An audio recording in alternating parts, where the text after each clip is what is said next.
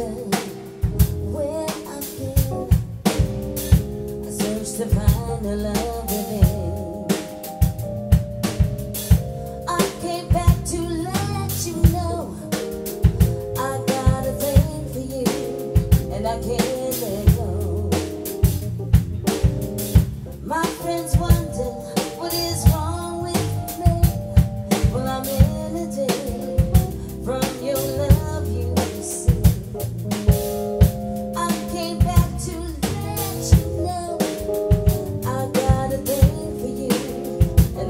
And